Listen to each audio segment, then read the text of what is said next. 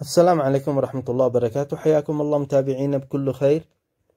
تويوتا رافور موديل 2023 2024 الجيل والشكل الجديد كليا حصريا. كما تلاحظون يأتي بتصميم معاصر.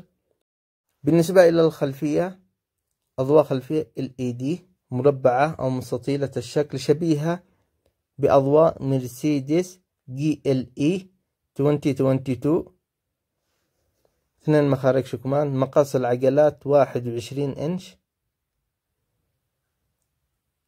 التصميم مقارب وشبيه للكزس آر إكس موديل 2023 عطونا رأيكم في التعليقات حول التصميم والجيل الجديد كليا من تويوتا راف 4 موديل 2024